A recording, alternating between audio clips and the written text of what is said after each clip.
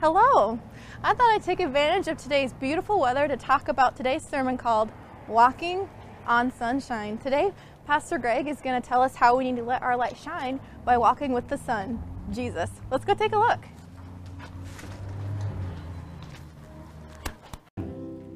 You can go ahead and be seated and turn in your Bibles, please, to 1 John.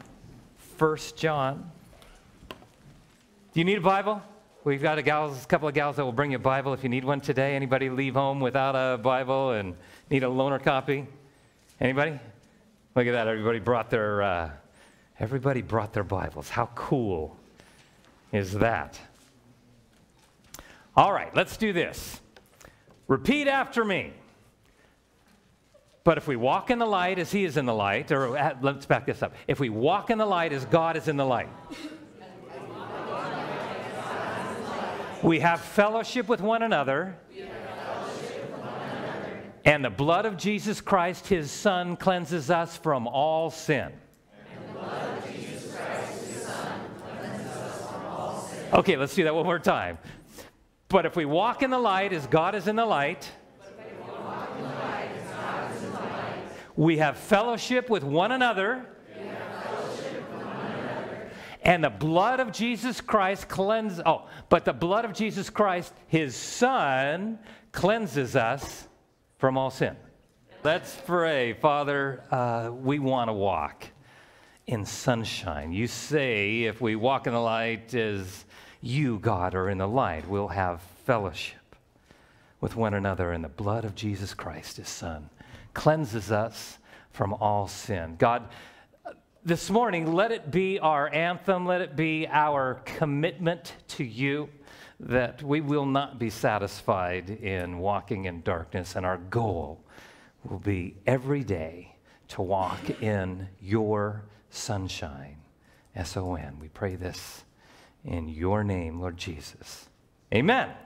Amen. All right. Thank you, John, for uh, doing that. So uh, last week, last week, in uh, our adventure in First John, we zeroed in on the first five reasons. The first five reasons that uh, John gives us for writing this particular epistle. And he said, I have written you these things, so what? That your what? That your joy may be full. Now, even though we uh, we have access. Do you know that right now, right now, point at the grumpy person next to you. No, don't do that. But uh, right now, we have access to abundant life. Abundant life. The joy of the Lord is our strength. But does that describe you? Does that describe you this morning? I know that it usually describes me, but sometimes, sometimes we allow the smallest of circumstances to steal our joy, as in the case of what I talked about last week, as in the case of uh, getting stuck behind a sandwich boy at Subway while he ordered seven sandwiches. Seven, that's like standing behind seven, waiting in line behind another seven people. And, uh, I could have been happy. I'm still going to get my foot long onion teriyaki chicken sandwich. I, I, but I didn't. I, I, I could have stayed happy, but I chose to get all sappy, you know, about it instead. But apparently, joylessness is going around in, uh, in fast food restaurants these days. I don't know if you heard about this. There's a guy, there's a guy that sues a fast food restaurant claiming that this restaurant is the reason that he can't get happy. Did you hear about this? This restaurant is the reason why he can't why he can't get happy. Last year, a man in Tennessee goes to his local Popeyes, Louisiana kitchen restaurant to get one of their new what? Crispy chicken sandwich. And they're good, right? Have you had one of those? Yeah, they're actually pretty good. They're actually pretty good. But, uh, but they're all out. So he drives to another Popeyes, and they're sold out too. And he goes to two more Popeyes restaurants, and they're out as well. gets very, very disappointed, chalks it up to, well, bummer, I guess that's just how the burger crumbles or however that goes. Well, that's what he should have done.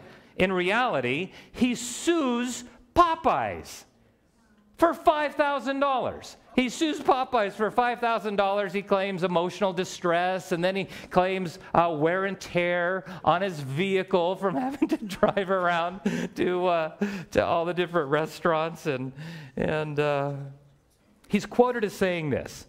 He's quoted as saying, I can't get happy. I have this sandwich on my mind. I can't think straight. It just consumes you.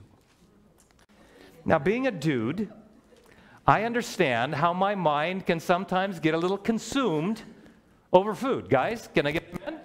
And girls and ladies, right? Right? But letting a $3.99 chicken sandwich from Popeyes ruin my day, not going to happen. It's not, it's not going to happen. Now, maybe if we were talking about like a like a Hardee's, you know, monster burger right there, but not a chicken sandwich from 1400 calories right there. 1,400 calories. Now, here's the deal. We might laugh at that. We might laugh at that, thinking this guy's a knucklehead, which he is, which he, which he is. But, but, but, have you ever been a knucklehead or a knucklehead at and allowed your joy to get stolen? Did you throw your joy away over something very, very minor? Raise your hand if you've ever done that. Okay. All of us. All of us have. Oh, how things look so much differently when the sandwich is on the other plate, right? My encouragement do not allow anyone or anything to steal your joy, that our joy may be what? May be full. Now, we open chapter 1 with the Apostle John giving us uh, his credentials and that he was an eyewitness. He was an eyewitness to the Lord, and that we can trust his testimony. He then addresses the issue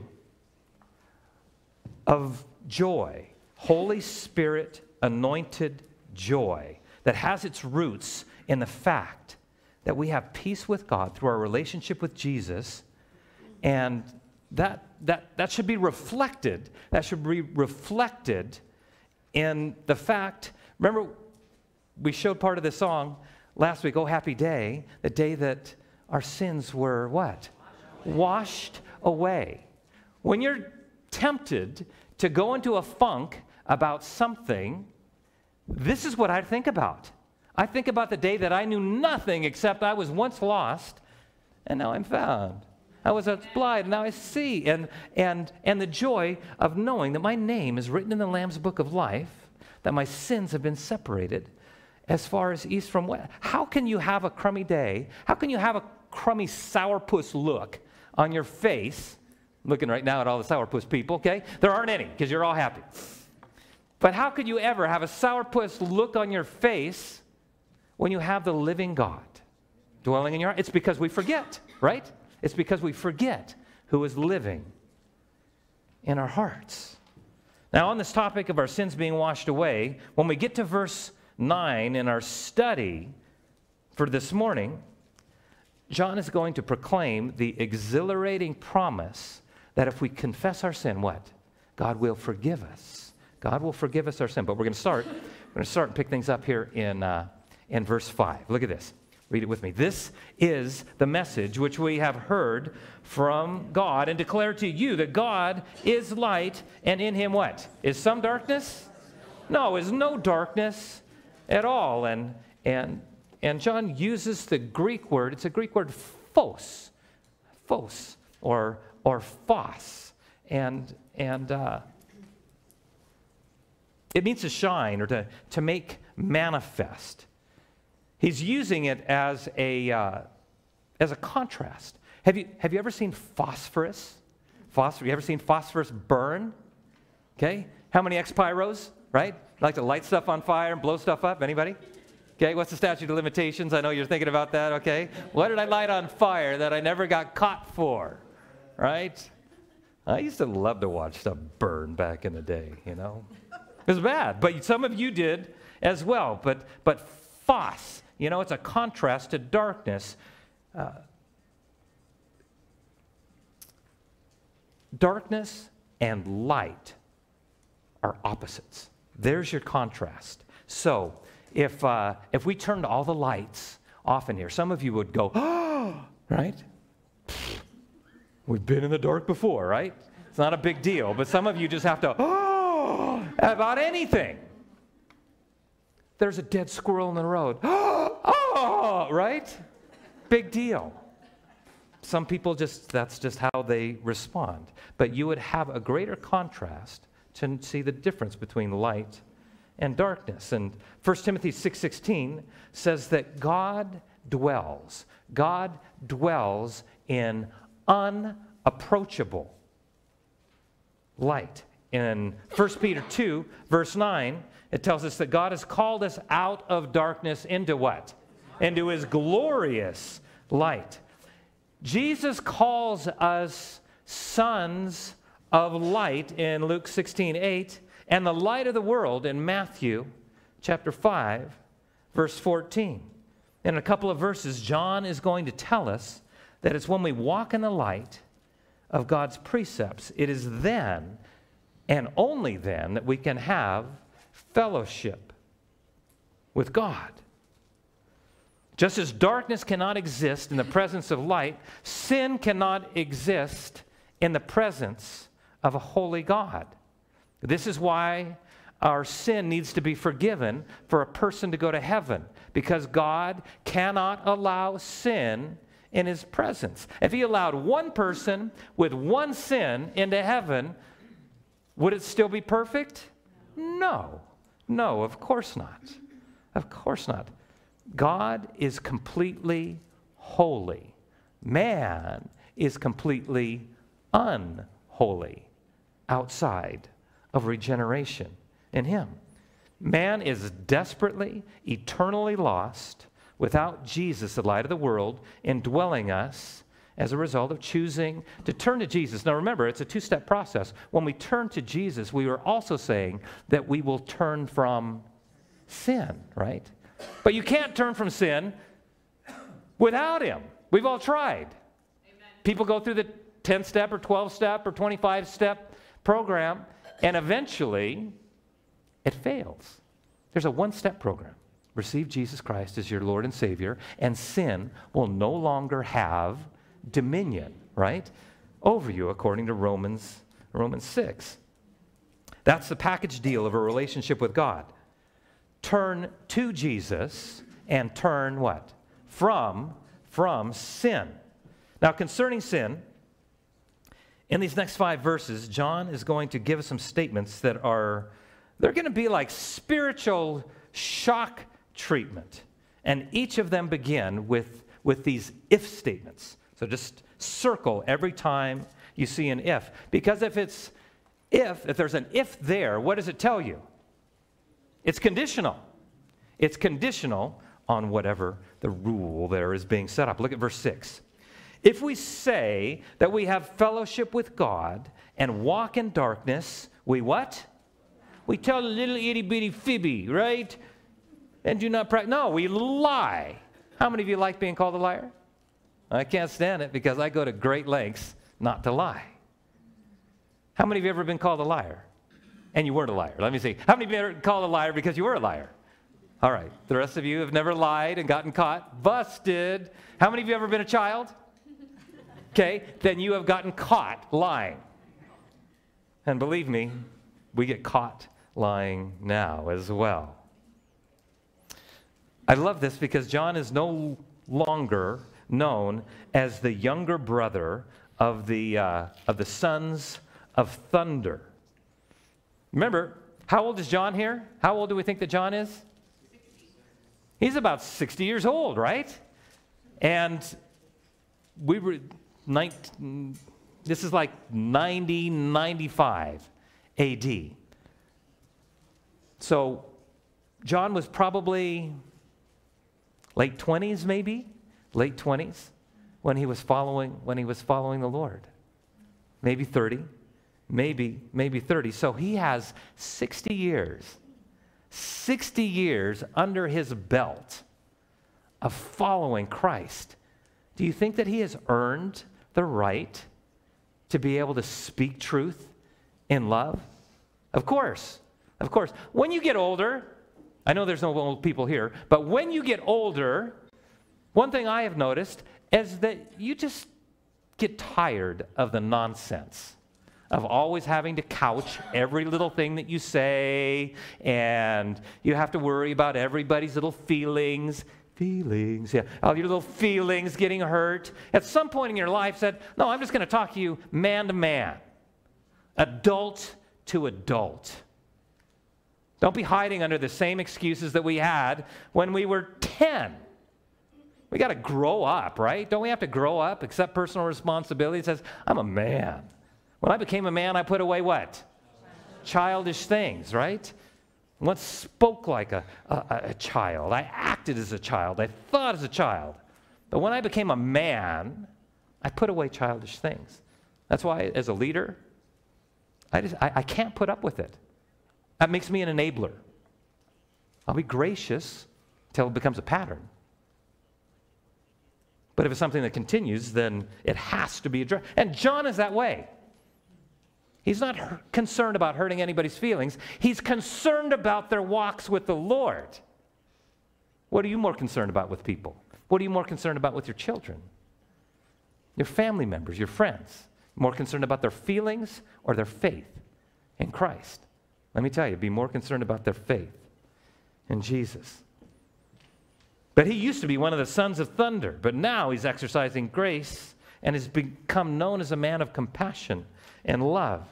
Yet, saying that, his boldness has not waned in the slightest, clearly stating here that if, if, if, if we claim to love God, but perpetually walk in sin, what? We lie, lie, lie like a rug, right? Lie like a rug. You young people ask somebody older, they'll, they'll explain that one. They'll explain that one to you. Eight times, eight times in these five chapters, John is going to call out the lie of those who claim to know Christ. But John is going to say boldly, remember, he's speaking to the church. He's going to boldly say that you are not a believer, you are a make believer. You are pretending to know Christ. Now, I am not a, uh, a fan of the message translation of the Bible, but I like the way that it reads in this particular verse. Read it with me. What's it say? If we claim that we experience a shared life with God and continue to stumble around in the dark, we're obviously what? Lying through our teeth. We're not living what we claim. John is saying that there were people then in the church, like there are people now in the church, who claim to be walking in the light but we're walking in darkness. Reminding us it's not what we say that reveals that uh, who we are in Christ, it's, it's, it's what we do if we truly have a relationship with God or not. The modern church today, it just needs to get very, very honest. Needs to be honest about who is saved and who isn't.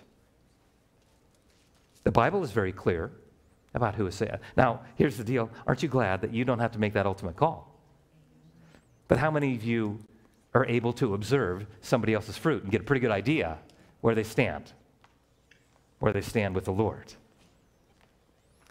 It's not going to be a comfortable chat standing before the Lord for those people that defend that just because someone said they were a Christian meant they were.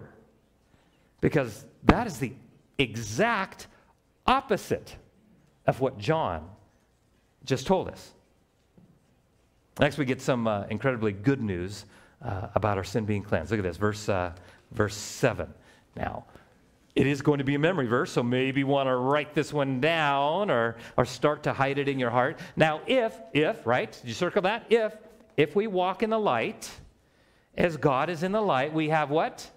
Fellowship with one another, and the blood of Jesus Christ, his Son cleanses us from, from all sin. What's all mean? I like that. Did you circle the word F? Did you circle the word F? Once again, John makes a, does that make it a conditional or an unconditional statement? Conditional, right. Obviously, it's conditional. If you do this, the result will be this. Also, did you notice that this is the third time in seven verses that John mentions fellowship? Fellowship. Fellowship with God equals intimacy with God. Do you have intimacy with God? Now, most of you are going to say, Yes, of course. We're in a church today. We're all professing Christians. Of course, I have intimacy with God. Intimacy with God. Intimacy, familiarity, closeness, affection, love. Does that describe your connection to the Savior? Because if it does, you're not going to continue to sin. You can't. Because every time you sin, what does it do? When you when I sin, okay, when I sin, because you guys never sin. When I sin, usually I'm pretty sensitive to the Holy Spirit telling me right away. And I get pretty remorseful because I realize that I have just hurt the heart of God. I have hurt the heart of my God that hung on a cross for me. And I'm going, what am I doing? Lord. And I've told you this before, one of, my, one of my prayers almost daily is, Lord, have mercy upon me, a sinner. because sometimes during that day, guess what? I'm going to sin somewhere in my thought life. Don't give me that pious look because you all do as, uh, as well. How strong is your love connection with the Lord this morning? Because if you're walking in the light, if you're walking in the light, it's going to be very strong. Walking the light as God is in the light means we are mimicking his attributes. Let me ask you this Do you think God is moody? Do you think God is moody? Do you think God pouts?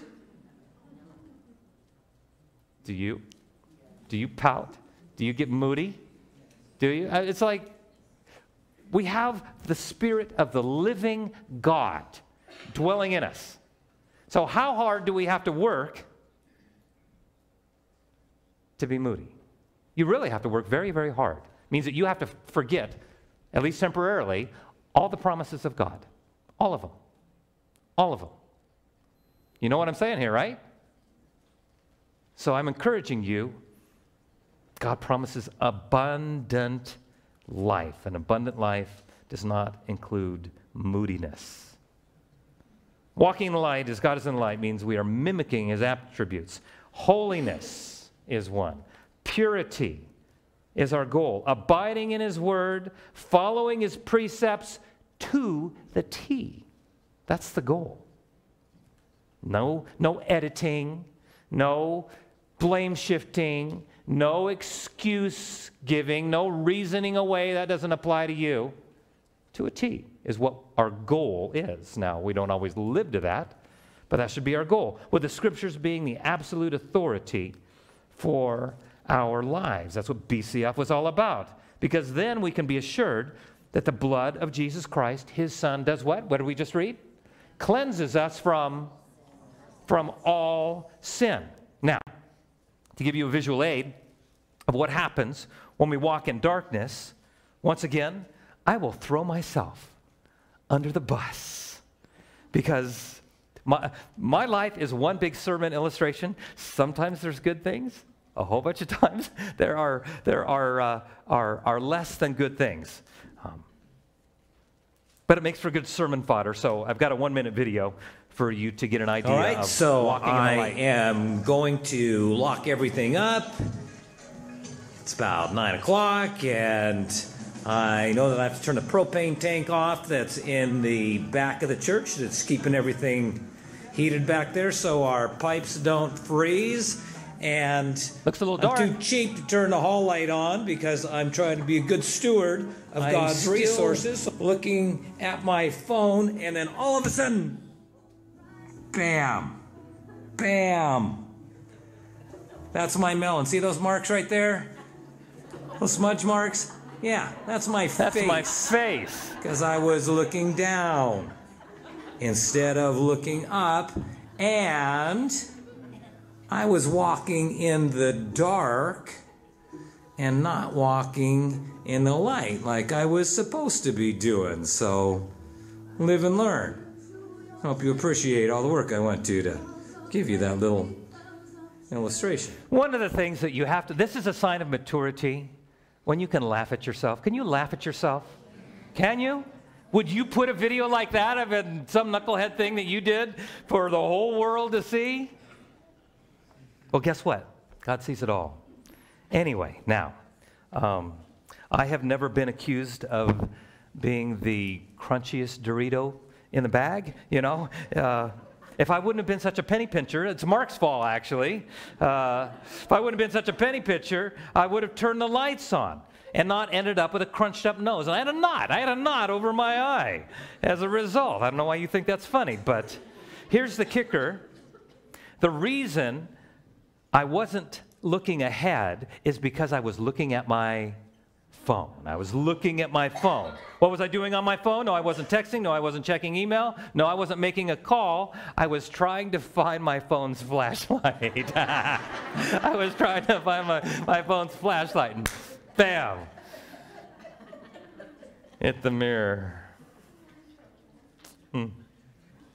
If I would have been walking in the light, I would have had this problem. What a great principle the Lord gives us in Ephesians. This is Ephesians chapter 5. For you were once in darkness, but now you are what? In the light, in the light of the Lord. Walk as children of the light. I say the same thing to you this morning. Walk as children of the light. If you profess to be a Christian, walk as children of the light.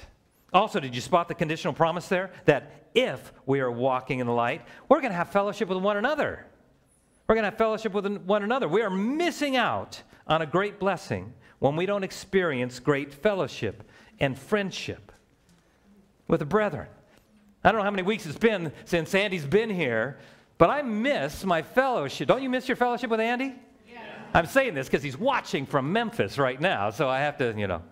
And Pam and Brian uh, are watching from, those are Ellen's parents, by the way, are watching. And I, I, just, I just miss his fellowship because he's another guy that just loves the Lord, he loves the Word, and he loves you. So there's an instant, there's an instant bond of fellowship there. But I have been watching the body of Christ. I've been a Christian for 30 years now.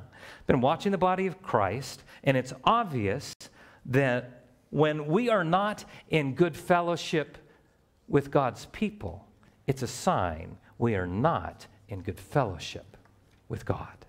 Amen. How can you say that you love God and not love God's people? That's exactly what John is going to say when we get to chapter 4, verse 20. If someone says, I love God and hates his brother, he is a liar. For he who does not love his brother whom he has seen, how can he say that he loves God who he has not seen? If we love God, we will love God's children. And here's the other kicker we will want to be around them.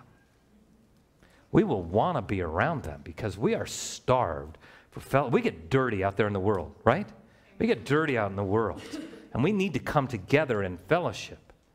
And there's just like a mutual cleansing that goes on. 11 times, 11 times in chapters 3 and 4, John is going to remind us that loving one another is not an option. It's actually a, starts with a C, ends in omand, right? Command, right? Command.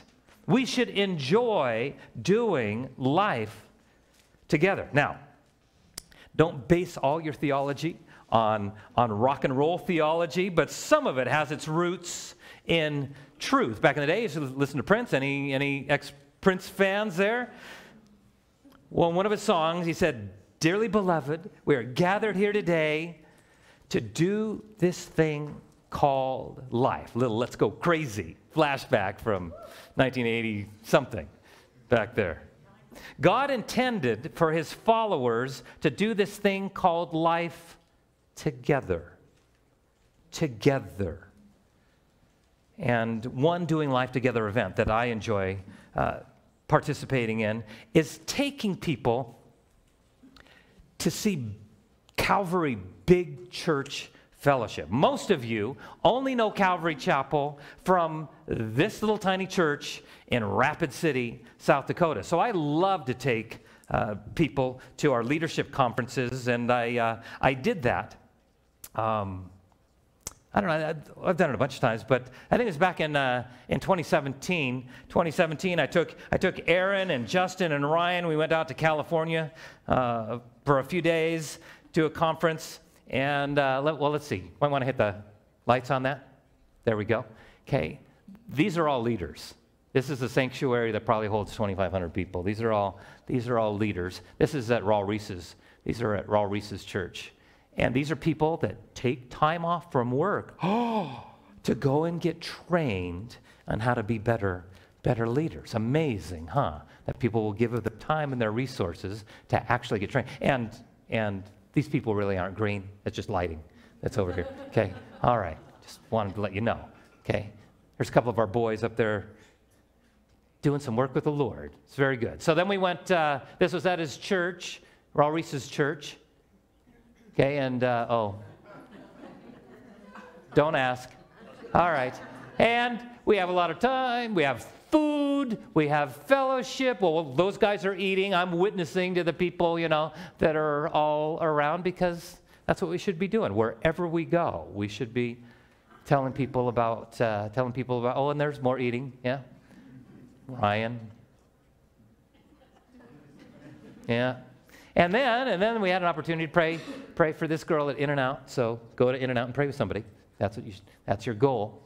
All right. And then I, uh, and then I drove them down to, uh, to Calvary Chapel, Costa Mesa, where all these Calvary Chapels began about 50 years ago. And, and uh, there were some interesting bonding moments um, there. You can talk to uh, Justin and Ryan afterwards and ask them exactly what was going on. And, and, uh, and then I drove them down, and then I drove them down to, to Corona del Mar, to uh, kind of Newport Beach area. We did a uh, shout out that's just in filming uh, um, a shout out. And, and it's here at Pirates Cove where back in the day, there were ba- that's a baptism. There are baptisms of like 500 people at a time. 500 people are getting baptized at a time. And it was just, uh, you know, I, I wasn't a Christian then. Maybe some of you were, and you knew about the Jesus movement that, uh, that this was birthed out of. And, and there's uh, Ryan, you know, scaling. I, I can't remember how, how far up he is, but he was quite a ways up. Well, no, he wasn't really very far at all. He was, he was, he was barely off the sand, but, you know, it's all about, it's all about, uh, it's all about the camera angle. But I, uh, I have those pictures. I think I have. I think All right. Another Just bonding moment. For a moment before we start, Ryan, tell me what's going on here. Well, I've got this burden on my shoulders. You got a burden on your shoulders? I've been carrying this burden for about three days now. you guys look very comfortable, very normal. Uh, I, I, I say that you, when we go back, this newfound friendship that you have, let it be revealed to everybody, and don't uh, don't be ashamed. We're not going to judge you. All right. okay. All right. That's hilarious right there. That's hilarious, right there. You know, it just it just blesses me to see uh, to see our guys hanging out and uh, and having fun together. It's fun for me to see you guys doing the same thing, and and part of that is carrying one another's burdens and experiencing fellowship through friendship. Fellowship through friendship. It blesses God when He sees His children walking together in unity. God never intended for there to be lone rangers in the body of Christ. And, and never forget this, even the Lone Ranger had, had Tonto, right? You even had Tonto. Who's your Tonto? Who's your Tonto? Who's your Lone Ranger? Who's your spiritual wingman or your spiritual wingwoman? I bet you most most of you probably don't even have one who's really a spiritual wingwoman or a spiritual wingman, the person that you can be completely honest with. And it needs to be somebody besides your spouse. Because guess what? Your spouse is a little tainted. She is, because she's going to love you or he's going to love you no matter what. Why? Because you sleep in the same bed. You need somebody who's not going to show favoritism and partiality on anything, somebody who will speak the truth and uh, love to you. Because believe me, I've talked to many of your wives, and your wives have realized sometimes I just got to go to my prayer closet and, uh, and not keep bringing this kind of stuff up because my husband is not picking up what I'm laying down. Ladies, you don't have to agree, I, but I know that you do because you told me you do.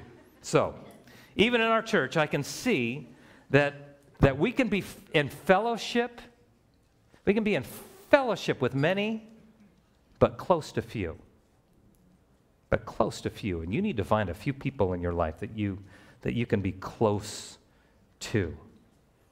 Thus, the ever tiresome, believe me, I see your mugs every time I say something like, like, hey, nobody sits alone, right? Or, hey, can you all scooch into the middle aisle or something like that? Or, uh, or how many people, how many, how, uh, you guys are on your way out and go, hey, did you meet anybody new today? Have I ever said something like that to you as you're exiting? Yeah, I do that because I know that you get tired of it, but God doesn't get tired of it. And I'm going to say it until you understand the wisdom in it, until you make it your own, because it's biblical, doing this life, this thing called life together. Godly fellowship under, under the banner of God's authority brings a supernatural comfort to the body of Christ through walking the light as Jesus is in the light. And in reality, church, church should be a holy convocation, an assembly of believers walking in the light, walking in the light as Jesus is in the light. Now, in, uh, in verses 8 through 10, what, verse 9, I bet you have up on a plaque on your wall, or maybe you've memorized that somewhere, but I bet, I bet you don't have the verse before it and the verse after that. So, verse 9 is the grace sandwich between verses 8 and 10. So, uh, so look there at those two verses. We're going to look at those two verses, and then I'm going to come back, and I'll end up closing with, uh, with verse 9 says, If we say that we have no sin, we deceive ourselves and the truth is not in us. If you have never underlined deceive ourselves, I encourage you to do it now. We deceive ourselves, and the truth is not in us. If we say that we have not sinned, we make him, God, a liar, and his word is not in us. Remember who these epistles are written to believers 2,000 years ago, just like today. The church was full of people who fell into the category of believing deceiving, right? Or deceiving believing. They were professing believers, not possessing believers. Have you ever convinced yourself that what you're doing wasn't sin when God clearly says it was? I have. I have, of course. But how does that happen? It happens when our walking in the light gets muddled. Gets muddled. And what we think is slightly non light is in reality full blown darkness. And our spiritual eyes become dimmed, and our spiritual noses can no longer discern between the aroma of Christ and the aroma of the world. Now, speaking of, uh, of aroma of the world, this last Sunday, this last Sunday, after you guys all we got done with our with our video, I had like 30 minutes ago over and grabbed something to eat, and then I went over to Open Bible where they had the uh, memorial for uh, Roe v. Wade. That was actually on Wednesday of this week down at Open, our friends at, uh, at Open Bible. And then I went and I sat, uh, because they have upward basketball in Sunday afternoons. So uh, I went to Open Bible and I was sitting, after that, I went to the bleachers and I was talking to Holly, Holly Kaufman. Uh, about this outreach that we want to do for law enforcement wives. And, and up strolls Aaron with their toddler, Jalissa, who uh, immediately gives me a big hug, which was great. But during said hug, I smell the unmistakable, pungent aroma of a poopy diaper.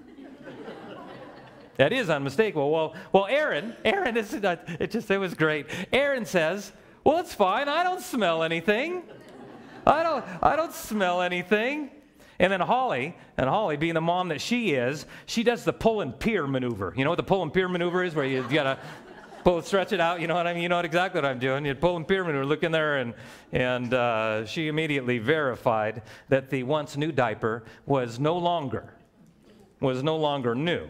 Now, as parents of little kids, your sense of smell has to get a little bit immune, right? Has to get a little bit immune to the uh, aroma of the world, let's just call it. The aroma of the world seeping out of your little toddler's pantalones, right? But to those of us who aren't accustomed to that uh, special fragrance, special fragrance, their sniffers, you know, are a little more sensitive and we pick up on it immediately. Here's the application. Here's the application. Just because we don't smell it doesn't mean it doesn't smell. Just because you don't smell your own sin doesn't mean it doesn't smell to everybody who's around you who can obviously see it. I want to let that sink in for a minute because this morning we're preparing our hearts to partake of communion. And all these little instances that you blow off, we blow off, I blow off all the time, of, way this really isn't sin. It is sin to God. And we can't have fellowship. We can't walk in the light as He is in the light, and we certainly can't partake of communion if we're justifying all our little sins. So just be thinking about that as we prepare our hearts for communion here in just a few moments. Just because we don't acknowledge our sin doesn't mean the sin isn't there. And John says that when we do that, we deceive ourselves. We deceive ourselves, and the truth is not in us. It's a dangerous place to be, right? It's a dangerous, dangerous, dangerous place to be. And to, uh, we can falsely convince ourselves that we're walking in the light, but if there's ongoing sin in our life, it doesn't matter what we convince ourselves of. God says it's sin, and not to admit it, confess it, and turn from that sin like I said, is a spiritually dangerous position to put yourself in. You're putting yourself in that. Turn your Bibles to Matthew chapter 7. I want you to have this highlighted in your Bibles. Underline. It's a dangerous place because the epitome of the deceived person is found in the Gospel of Matthew, chapter 7, verse 21. Not everyone who says to me, Lord, Lord, shall enter the kingdom of heaven, but he who does the will of the Father in heaven. Verse 22 Many will say to me in that day, Lord, Lord, have we not prophesied in your name, cast out demons in your name, and done many wonders in your name?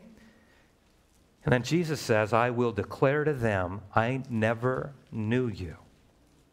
Depart from me, you who practice, highlight, circle that word, practice lawlessness. Jesus isn't talking about the person who sins on a certain occasion and is quick to repent of their sin. Jesus isn't talking about those few and far between situations because we all sin in some capacity every day.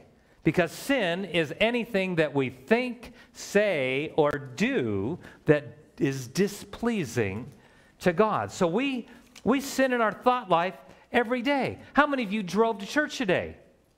Chances are, when you're behind the wheel of a car, you are tempted, at least tempted to sin. Rapid City has crummy drivers. I just got to say that. It's got crummy drivers. That's, this, whole, this is why King David said, not that they're crummy drivers, because he didn't know that there were going to be crummy drivers, okay? But this is why King David said in Psalm 19:14, let say it with me. What's it say? Let the words of my mouth and the meditation, right? The meditation of my heart be acceptable in your sight, O Lord, my strength and my Redeemer. What goes on in our heart is going to what? Come out of our mouth and come out in our behavior.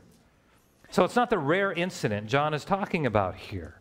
It's the ongoing practice, the unrepented of practice. It is the convincing of ourselves that God is not offended by what we have done or by what we are about to do. You know, I know, if you have the Holy Spirit, He's telling you. Paul gives a very short list of self deceived sin that can prevent people from going to heaven. Look at this. Again, turn your own Bibles, 1 Corinthians chapter 6, verse 9. Somebody here needs to take this very seriously this morning. Do you not know that the unrighteous will not inherit the kingdom of God? And here it is again. Do not be deceived. Neither fornicators, nor idolaters, nor adulterers, nor homosexuals, nor sodomites, nor thieves, nor covetous, nor drunkards, nor revilers, nor extortioners will inherit the kingdom of God. But look at the look at the promise of verse 11. But such were, underline every time you, you, you see were, but such were some of you, because that's past tense. Such were some of you. But you were washed, you were sanctified, but you were justified in the name of the Lord and by the Spirit of our God. The good news is found there in verse 11. God can cleanse any sinful vice or behavior or lifestyle or habit with his mercy, grace, and forgiveness. Lying, right? Stealing, coveting, drunking, gossiping, that's what revilers mean. I mean, the, being a gossip is a big deal to God. Slander, be, it's a big deal to God. Idling, and there are some more of the, uh, the obvious things. Look there in verse 9. Maybe, yeah, verse 9. Look at what it says. It says what? Fornicating, adultering, homosexualing, sodomiting, you know, the, the body of Christ needs to stop deceiving itself. God says that if a person is sexually active outside of marriage, God calls that what? Starts on F, ends in ornication, uh, Californication, right? Some of us grew up there. It was the, the sin du jour. And there's no assurance that that person will inherit the kingdom of God. And just a few verses later, look in your Bibles, look at verse 18. Look at verse 18. Paul says, flee sexual immorality. Every sin that a man does is outside the body, but he who commits sexual immorality sins against what? What's it say? Sins against his own body. We have similar statements in Ephesians chapter 5, verse 3, and Colossians 3, verse 5. Sexual sin is serious to God, and like all sin, we harden ourselves to it every time we do not immediately accept personal responsibility for it. Regardless of the sin, never forget it's the deceiver's job. It is the deceiver's job to deceive you into not knowing that you have been deceived. There's lots of people that have looked at me and said, Well, Greg, I have a peace about this, or, or you know, I don't feel convicted about this. I'm going, Man, you have hardened your heart to the Holy Spirit's conviction, and it's a very, very dangerous place to be. All right, let's wrap up and prepare our hearts for communion with a great news. There's an antidote. You get, guys ready for the antidote of sin? It's found right there in verse, uh, verse 9. Read it with me. If we confess our sin, what? God is faithful and just to forgive us our sins and to cleanse us from all unrighteousness. Woohoo! Thank you. Thank you, Jesus. This is one of the first verses that I memorized 30 years ago because I understood just how in need I am of God's forgiveness. I confess my sin. I confessed my sin to God on August 27th, 1989. And I confess my sins just about every day since. The primary confession of sin takes place the moment that we admit our need for Jesus, where we become, where we allow Jesus to become the propitiation for our sin, the covering for our sin. We become born again, and we were birthed immediately at that moment into the family of God. Positionally, we are justified, and our names are written in the Lamb's book of life. And with that said, it is completely evident that Christians still sin. Do you realize, do you ever think about how often, every day, even as a believer, We still sin. It happens because we're not practicing the presence of God. My driving habits are different when I realize Jesus is in that car with me. Right? My mouth, usually, no, always when I'm practicing the presence of God, it's when I'm not practicing the presence of God that I say things that I shouldn't say. You guys relate to that? Anybody? Just me? All right. Okay. Oh, just me? Okay. Here's the deal God sees every time we sin, and He expects us to confess our sin as soon as the Holy Spirit convicts us, which is at the moment that we do sin. It's only when we harden our hearts, so we deceive ourselves, that we, that we get numb to that kind of stuff. We hear all kinds of, well, how many of you have a Fitbit or something like that? Something else that records how many steps you have and your heart rate. What else? What else do you have on that? Heart rates? Sleep, all that kind of stuff. How many miles does it do the miles and how far you walked and how many steps that, uh, that you took? Well, what, what if there, what, what if there was a sinometer? that was, that was built in. Yeah, I don't want that option. I don't want that. No, don't tell.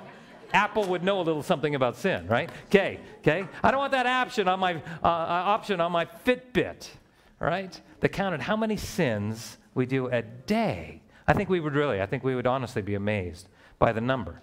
But here's the deal: sinning doesn't make me a sinner. It just proves that I am a sinner, right? All of sin and fall short of the glory of God. But here's the deal: a sinner saved by grace, but one who still sins. And here's the deal it breaks our fellowship with God. If you have a genuine relationship with the Lord, nothing can break your relationship with God, but our sin can destroy our fellowship with God. That's why we read this in Isaiah, in Isaiah chapter 59, verse 2. But your iniquities have separated you from your God, and your sins have hidden his face from you so that he will not hear. So, my encouragement always is going to be to you let the truth set us free. Which leads to this, this final il- illustration for this morning. On a Sunday morning, a pastor is, is, is focused on forgiveness, God's forgiveness, and how when we repent, He separates our sin as far as east is from west. And after the service, a woman, a woman came up to the pastor in tears, saying she accepted Christ at the invitation, but added that she can't believe that God would forgive her for all the horrible things that she had done in her life. And the pastor assured her that if her commitment was genuine, that all those previous sins had been forgiven.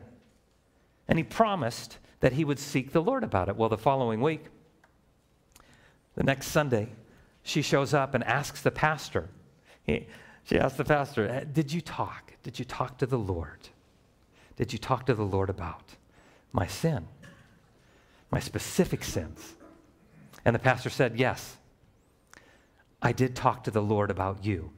And when I asked him about your specific sins from the past, God simply said, I forgot. I forgot. Now, God can't forget, He's omniscient. But from a practical perspective, that's the effect when we repent.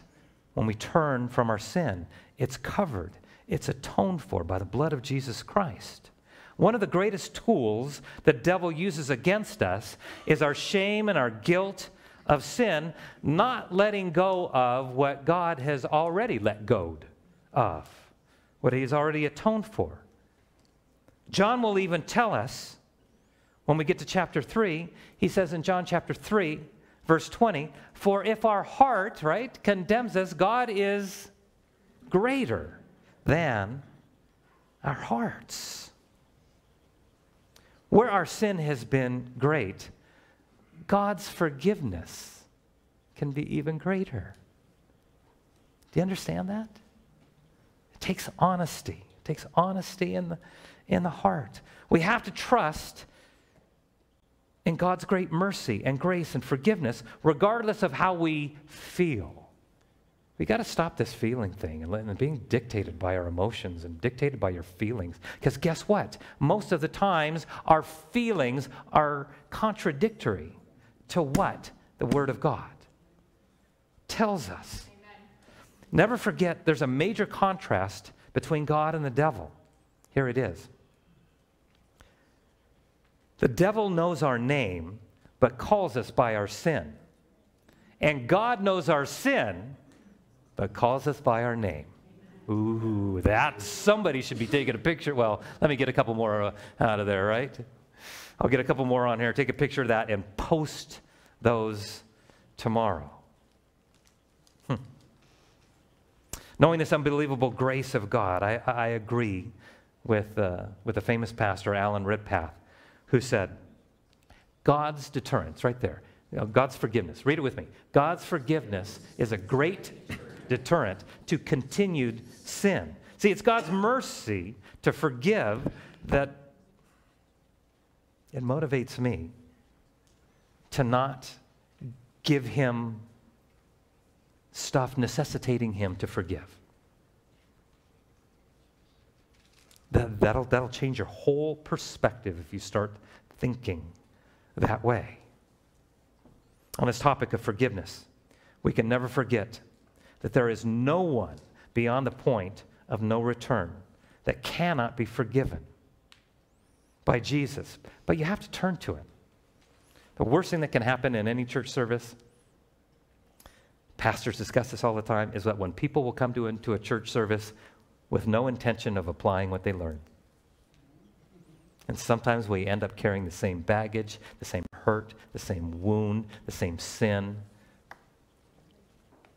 into the service and carry that same thing out. Never forget this every saint has a past, and every sinner has a future. That's the picture you should take, right? Every saint has a past. Aren't you thankful that your past has been forgiven? Amen. Amen. And every sinner has a future. That's the power. Lord, we thank you this morning for your long suffering and for your patience and for your grace and your compassion and your mercy and your kindness to your children. And God, we, uh, we do not want to take that for granted We never want to take it for granted ever again. Pray, Lord, that you would make us very sensitive to sin. I pray that it wouldn't just be a memory verse for March, but that we would actually do our best to walk in the light as Jesus is in the light. Have fellowship one another because the blood of Jesus Christ, his Son, cleanses us from all, all, all sin, separated as far as east is from west.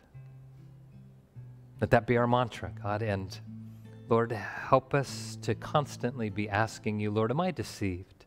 Am I deceiving myself in some area of my life? Lord, I give you permission to help me never be deceived again. And Lord, help me to be quick to think of 1 John 1 9 that if we confess our sins, God is just, faithful, and just to cleanse us from all our sin. Let that be our banner. Let that be our marching orders this morning. As a result of being cleansed of our sin, to walk in the light as you, Lord, are in the light. Amen. Wow, today's sermon was enlightening.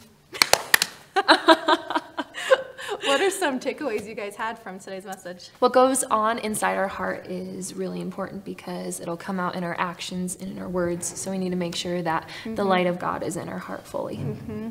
Gotta have that bright and happy smile. Uh, for me, I'd say it was when Greg said, For where our sins have been great, his forgiveness is greater because that's something that the devil trips us up on quite a bit. Mm-hmm. Mm-hmm. Greater is he that is in you than he that is in the world. Well, thank you so much for watching today's sermon. And would you allow us to brighten up your lives by hitting the subscribe button and dinging the little bell, and we'll let you know when more sermons are available. Have a great day. Thank you.